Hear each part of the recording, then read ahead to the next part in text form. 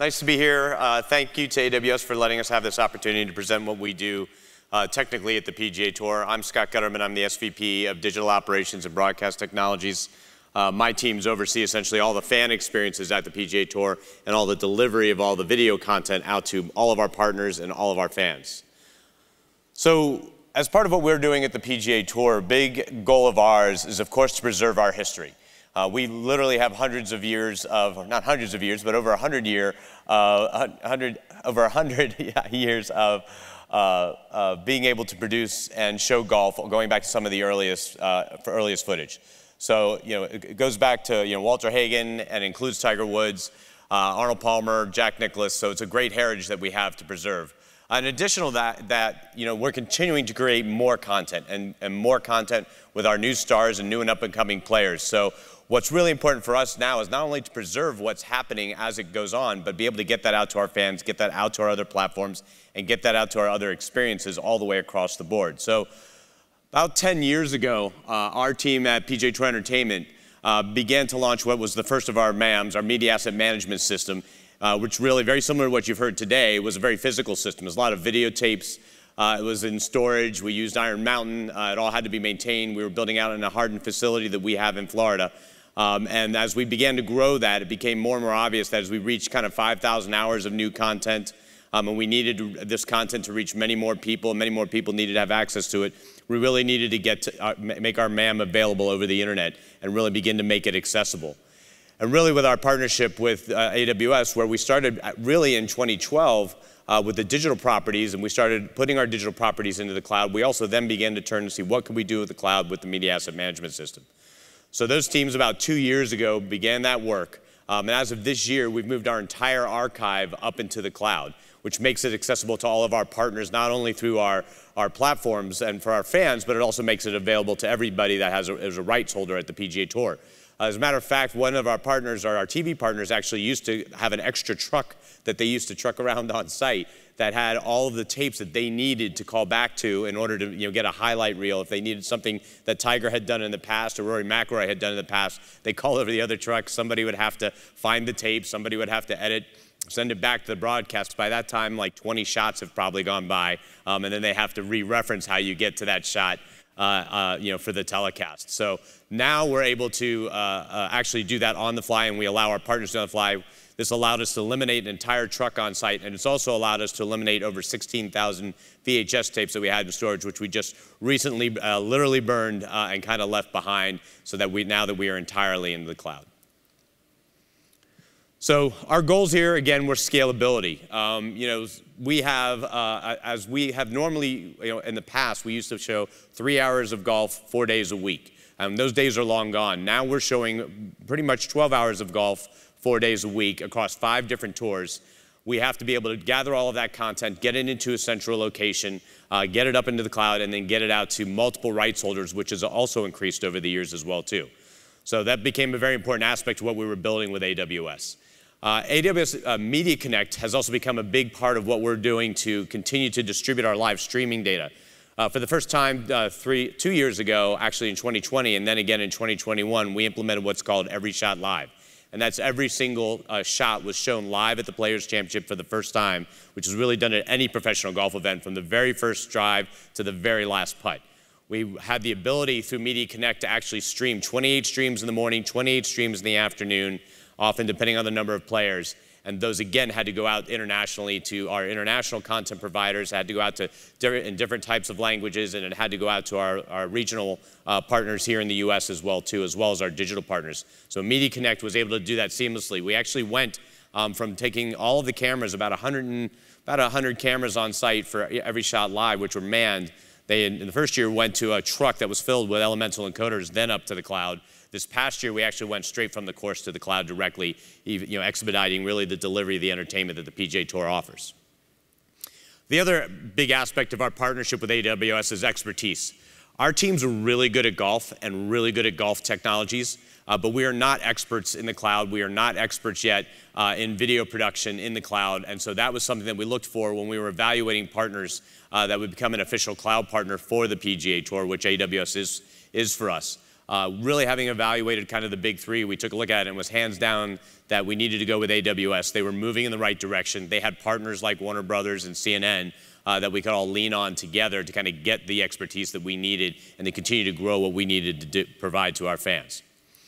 And then uh, if, just again, just like everybody else, you know, single uh, facility vulnerability. So uh, while we don't have tornado issues in Ponte Vedra Beach, Florida, we do have hurricane issues uh, in Ponte Vedra Beach. And so a couple times a year we'll get a storm. And while we were in a hardened facility, I think it was a Cat 3 facility, or it is a Cat 3 facility that we have at PGA Tour Entertainment, you never know what's going to happen. And even if the power went off there, we needed to make sure that our TV partners were able to access the content they needed because we could be producing in Ponte Vedra, but the event could be going on in Los Angeles like at Riviera, um, and we need to still keep producing that. And by moving into the cloud, it's allowed us to achieve a level of business continuity uh, that's very important to our entire business. So what did we do to get our MAM in the cloud? Just a little bit by the numbers here. So right now we're at 177 assets, uh, over 200,000 hours of content, not hundreds of years. Uh, 8.2 million logged entries, so a key part of what we do uh, through a series of partners, as many, as many of the folks here have talked about, is everything comes with metadata. Everything is delivered with metadata. So every single uh, clip, every highlight clip that we have is if uh, Rory McIlroy is about to win the FedEx Cup at the Tour Championship, and we know he's got a 20-foot putt. We have a golf technologies team that has all of that data. And when we produce that clip and it goes into the MAM, we pair those two things together so that we are able to then go into the MAM and find any shot at any time. And that's the way that most of our partners find it. It's also really the way that we deliver it to our, our platforms, both, both our apps and our website, to make sure that that highlight shows up on the right scorecard for the right player. And really what that's adding up to now is 13 petabytes of uh, content, which is 13 petabytes plus. So uh, as we continue to enhance the amount of streaming that we do, as we continue to produce more video, that's growing more and more, and there really was no way for us to meet that on kind of the fly and the growth rate that we would have for need for a physical facility. So what, what's next for us? And really, you know, as I said in the beginning, where it starts for us is what's, what do our fans want? What can we provide to our fans to bring them closer to our players, closer to our events? What can we do to evolve what it means to attend an event? Because while it's great to attend the Players' Championship in Northeast Florida, you know, our, really our, one of our premier events. Um, you know, not everybody can be there. So what, is, what do we need to do to make them feel like they're there?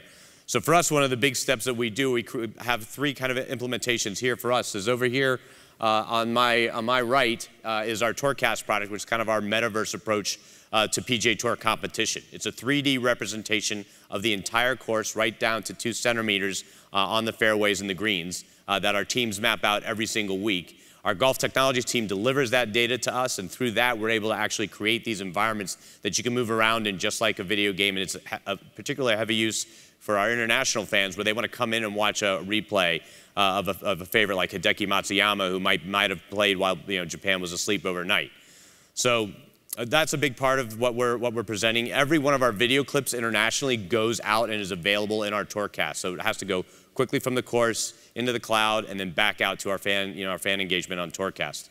Uh, really here in the middle is one of our next steps is that's augmented reality. And we have a team that uh, works on our innovation projects. And a big part of what we're capturing is enabling fans to now take out their phones using our golf technology data and the video through their phones and actually see your near live, near real-time shot trails as you're standing there on the course just outside the ropes. And a big part of that is helping us deliver that content once somebody's captured it up into the cloud.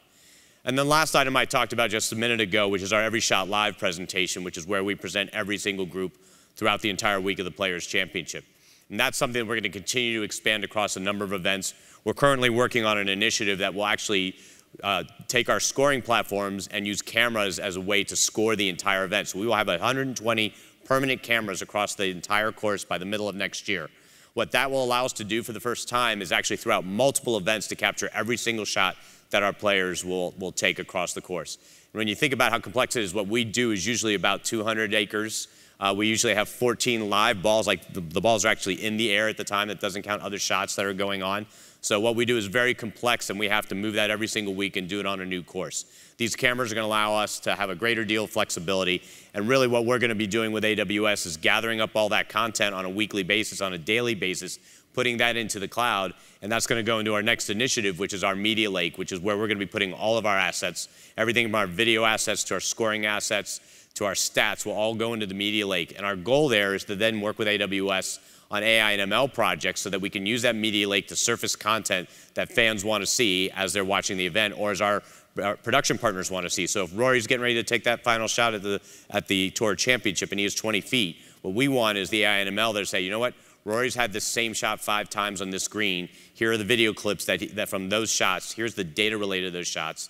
That really allows our production team to immediately put that into the broadcast, or may allow you as a fan to customize the type of data that you want to see out of your PGA Tour experience. So this is another big initiative that we're about to engage, into, engage in. And then we really believe that there will be uh, continue to be more and more opportunities here, not only to serve our fans, but to serve our players. Uh, as we get into this new, new era, we will be able to serve our players every single shot after their rounds are done, immediately after they're done uh, with speed, what we're going to call speed rounds, is something that we already do uh, to some degree at some events. And then what we'll be able to do is allow them to evaluate their games in between, uh, in between every one of their rounds. Matter of fact, this year at the Players' Championship, the top two players actually were reviewing their speed rounds every night after the players after their round was done. Um, and you could see them move up the board. And one of the players actually really remarked, he's like, the fact that I could review my round, review that with my coach, take a look at my swing, gave me an advantage uh, uh, the next day as they came out to play. So it's something we're very excited about with our fans. It's something that we're very excited to provide our players. Um, and AWS has really enabled us to kind of reach this new ground. Um, and we really see that the opportunities are going to be endless, not only to preserve what the PGA Tour has, um, but to be able to create more entertainment uh, for our fans as well.